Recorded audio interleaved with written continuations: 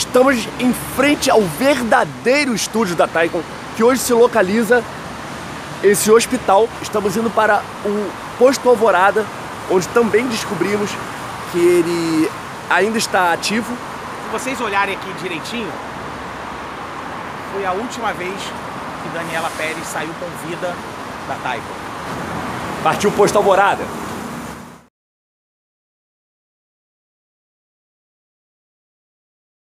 Pessoal, estamos aqui exatamente no local exato mesmo, onde o Santana Azul de Guilherme de Pádua, é, com um crime já premeditado, fechou o carro da Daniela. Aqui, pessoal, aqui, aqui, nesse solo aqui que eu tô pisando. A Daniela, ela saiu do estúdio da Taika, onde nós estávamos do outro lado da avenida, fez retorno, veio aqui abastecer ela pagou a, o, o, a gasolina do seu carro em cheque. Diante de toda a repercussão, o cheque foi despachado para um posto na Avenida Brasil. Aqui, o Santana Azul de Guilherme de Pádua fechou os cortes pretos da Daniela. E então ele deferiu um soco no rosto dela, onde ela veio a desmaiar naquele exato momento. Ele então a colocou dentro do carro dela, ele assumiu a direção para Cândido Portinari, onde nós fomos fazer aquela investigação sobrenatural, onde nós falamos com a Daniela Pérez. E quem dirigiu o Santana Azul de Guilherme de Pádua foi sua ex-esposa, a Paula Tomás. Daqui para Cândido Portinari, Rodrigo, quanto tempo? Mais ou menos, de carro? De carro? 10 minutos? minutos? no máximo. 10 minutos, é perto. Aquele local, até hoje, é um local bizarro, né? A, a, gente esteve lá. É um local que hoje é um pouco povoado, mas ainda assim é um local é, escuro, é um local deserto, é um local sombrio. E naquela época era um local de desova, pessoal. E é tudo ritualístico. Onde ele mata ela com 18 tesouradas, punhaladas, 15 no coração, 3 no pescoço, em formato de círculo. Tentam arrancar o coração dela. Era a última noite de lua cheia, tinha que ser perto de uma árvore. A maneira que o corpo dela foi encontrado. E quem faz o vídeo comigo aqui no Posto Alvorada é o Rodrigão. Fala galera, chegamos no Posto Alvorada. Primeiramente, vamos pedir desculpa pelo barulho. A gente está numa beira de uma avenida movimentadíssima aqui no Rio de Janeiro onde o Arthur já começou o assunto sobre a Daniela Pérez, já, já mostrou para vocês aonde o Guilherme de Pádua é, fechou o carro da Daniela. É, e aí eu vou enriquecer os comentários do Arthur com alguns detalhes. Primeiro detalhe, é, a logística, se vocês acompanharem, eu vou pedir para o Arthur dar um take completo aqui de onde a gente está. A gente nesse momento está no posto Alvorada. Eu vou pedir para nesse momento o Arthur girar a câmera e mostrar aonde era a Taikon. Mostra a onde é que era a Taiko. Pode, aponta aí, aponta mesmo com a mãozinha. Exatamente ali, pessoal. Exatamente aqui, ó. Então, olha como é que as coisas tem um link, tem um elo. Ela sai da Taikon, pega o seu carro, retorna e o primeiro retorno é logo ali na frente. Consequentemente, o primeiro posto de gasolina para ela abastecer o carro, aonde é? Posto Alvorada, que está ao fundo onde o Arthur estava falando aí. Então o que, que, acontece? Ao chegar aqui e ter o seu, abastecer o carro, pagou com cheque, como o Arthur falou, e ao sair da bomba com o seu carro, na saída do posto, o posto só tem uma entrada e uma saída, entendeu? Ela teve o seu carro fechado pelo, pelo Santana do Guilherme de Pádua, ela desce do carro, como o Arthur já falou, abre os braços naquele, naquele gesto de não tô entendendo nada, qual, qual é, qual é, o que, que foi, ele desfere um golpe, um soco e o Guilherme de Pada na época, jovem, forte. Muito forte, Muito forte. Um físico muito treinado. Isso aí. Ela acaba desmaiando. E aí ele pega o corpo, coloca dentro do carro e sai nesse caminho aqui que o Arthur vai fazer junto com vocês, ó.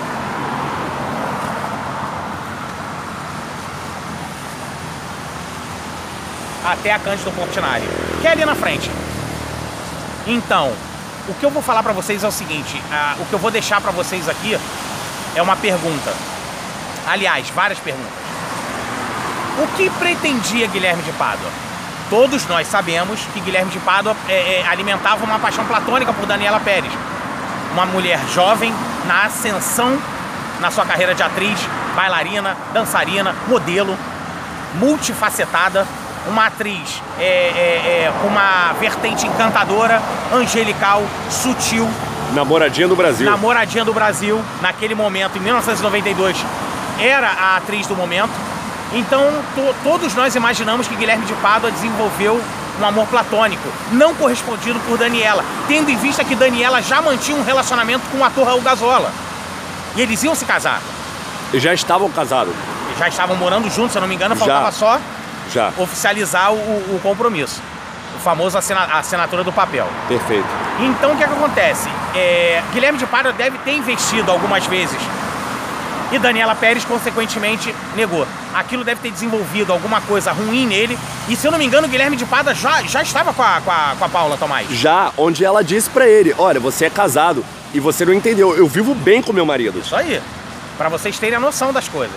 E, e- e- e essa história que começou numa novela, hoje em dia você vê várias Danielas Pérez aí pelo Brasil afora sofrendo de feminicídio. E no caso dela, naquela época não se falava sobre feminicídio, mas hoje em dia seria a, denominação do crime seria feminicídio. E com as investidas de Guilherme de Pádua e as negativas de Daniela Pérez, só temos uma conclusão. Ou a psicopatia do Guilherme explodiu e fez com que ele cometesse esse crime brutal, bárbaro contra a Daniela, ou não tem ou. Sabe por que, que não tem ou? Porque não existe outro tipo de explicação para isso. Uma pessoa, eu não, vou, eu, não, eu não digo nem, eu não vou nem dizer uma pessoa, né? Não posso nem dizer que é um ser humano. Ah, Rodrigo, mas ele pagou pelos pecados dele. Não, não, Não, pagou, pagaram não, nada. Não, eles dois não pagaram nada. Não, não pagaram. Não pagaram. Não pagaram porque é, você ceifar uma vida pelo simples fato de você não ter o seu amor, ou a sua paixão, ou a sua vontade, ou o seu tesão correspondido, é um absurdo. Beira a psicopatia, se já não atinge maior, maior grau da psicopatia possível. Sim.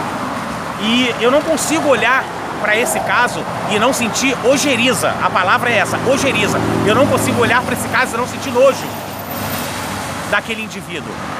Hoje. Guilherme de Pádua, já falecido, muitos podem até criticar o que eu vou falar, mas o Vila do Pânico ele tem essa vantagem. Aqui a gente fala o que a gente tem vontade. A gente fala o que a gente sente. E vocês aí interpretam da maneira que vocês quiserem. Então eu acho que depois de 30 anos, após o falecimento de Guilherme de Pádua, todos podem pensar, ufa, acabou o, o- o sofrimento. Não, Não acabou. não acabou. A Daniela não vai voltar.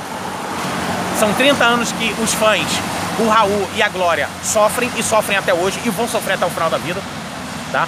É, A senhora Paula Tomás, hoje em dia Paula Peixoto, né? Paula, Paula Nogueira Peixoto. Paula Nogueira Peixoto. Se esse vídeo chegar na senhora, dona Paula, vou aproveitar aqui, é porque o Guilherme eu não posso, infelizmente, eu não vou poder falar pra ele que essa hora ele deve estar fervendo no caldeirão do demo. Gostem ou não gostem do que eu vou falar, mas eu falo. Agora, a senhora Paula Peixoto, Paula Nogueira Peixoto, não é isso? Paula Ou, Nogueira Peixoto. Pra gente, eternamente Paula Tomás. Sim. Hoje a senhora tem uma vida, a senhora se formou em direito, tendo aulas com um advogado que a colocou na cadeia. Olha a que ponto o- o- o- a história é, é- é maléfica. A senhora se mudou para perto da onde a Glória morava. Lá em Copacabana. Em Copacabana. Isso, isso, é. A senhora mandou o convite de casamento. Não sei se é a senhora ou o Guilherme. Foi o, foi o Guilherme. Ô, Guilherme, pra Glória. Mandou o convite de casamento pra, pra, pra Glória, mãe da Daniela. Então quer dizer, um conjunto de fatores que eu, Rodrigo, eu tenho certeza que eu posso falar pelo Arthur. Sim. Eu, Rodrigo, o Arthur e todo o Brasil, nós só temos um sentimento pela senhora, Dona Paula Tomás, ou Paula Nogueira Peixoto. Nós temos nojo da senhora. Certeza. Nojo. A palavra é essa. Nojo. Se a senhora tiver acesso a esse vídeo, quiser me processar, fica à vontade. E outra, faz o seguinte, não me processa não. Sabe por quê? Eu não discuto com assassino. A senhora é assassina. No mínimo, no mínimo, a senhora é uma cúmplice. no pequeno, no pequeno olhar da palavra, mas pra mim a senhora vai ser uma eterna assassina.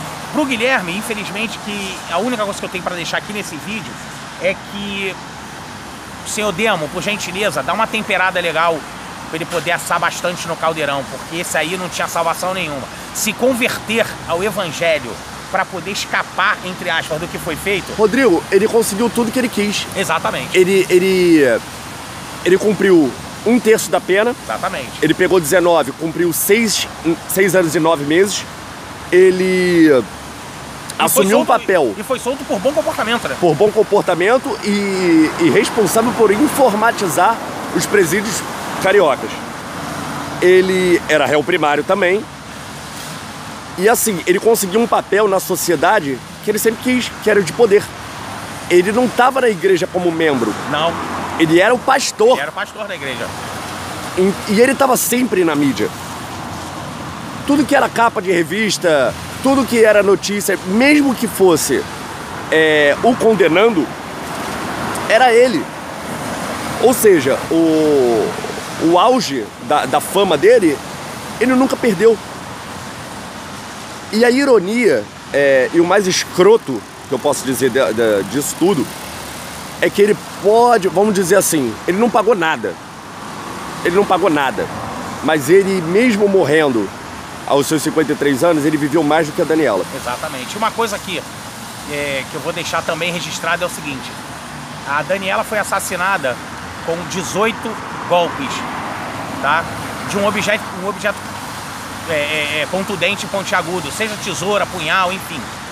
Foram 15 facadas no coração em formato de círculo e 3 no pescoço. O Guilherme e a Paula tentaram arrancar o coração da Daniela não conseguiram. E aí eu pergunto para vocês, vocês sabem a causa-morte do Guilherme de Pádua? Ele morreu do coração. Morreu do coração. Ele morreu Ironia, né, exatamente né, no dia que a novela da Glória, de 1995 ou 97, se eu não me engano, aquela Explode Coração, Explode Coração. foi lançada. Se eu não me engano, Explode Coração foi aquela novela que teve a, a, a, o cigano Igor, né? Não foi que teve os ciganos?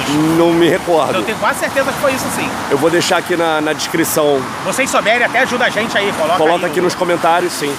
Mas eu tenho quase certeza que foi da cigana Dara e o cigano Igor, se eu não me engano. Eu tenho quase certeza. De novo, no, 1995. 95 ou 97, não, isso. É, é mas assim, acho que é, é 95. Quando ela lançou essa novela, no dia 6 de novembro, se eu não me engano, de, de, desse, desse, de algum desses anos, 30 anos após, ele vem a falecer. Explode o coração, Explode né? o coração, Explode exatamente, coração exatamente. E... Olha como é que as coisas são engraçadas, né, cara? É... A gente aqui não passa pano, não. É... Eu, principalmente, sou um cara que... Às vezes o Arthur até briga comigo por eu ser uma pessoa que eu falo mesmo e doa quem doer. É... E aqui o Vila do Pânico não vai passar pano para esse tipo de atitude entendeu? Para nós, é, ele vai ser o eterno culpado e a Paula também. Não pagaram nada, não, não acrescentaram nada na sociedade brasileira, ficaram presos durante esse tempo aí, comendo e bebendo às nossas custas. Sim. E, ai, mas eles é, pagaram e, e, já pagaram a sua pena e... Não pagaram nada. Pagaram nada. Não pagaram nada. Não pagaram nada. E eu, eu digo uma coisa, é, endosso as palavras do, do Gazola em uma entrevista que ele deu, que, cara, é, eu não tenho nada a ver com isso, né? Não, não foi na minha família, mas assim, não tem perdão, cara. Não, não, não tem, tem, perdão, cara. E, e, eu não sou evoluído o suficiente para perdoar.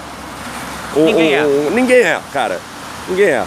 Eu acho que seria até uma, uma falsidade dizer que perdoou um, um, um crápula desse e uma crápula dessa.